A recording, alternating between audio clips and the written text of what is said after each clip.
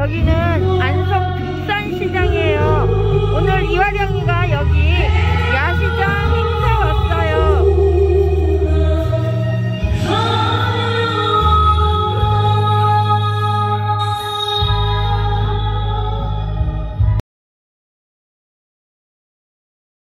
고맙습니다. 고맙습니다. 늦은 시간까지 함께 해 주신 우리 북산시장의 상인 여러분들 그리고 시민 여러분들 어, 고맙습니다. 감사합니다. 끝곡으로 메들리 들려드리고 갈 테니까요. 앉아 계시면 안 돼요. 이제 좀 일어서서 좀 활기찬 분위기 좀 내어주셨으면 감사하겠습니다. 마지막 곡 갑니다. 메들리 주세요!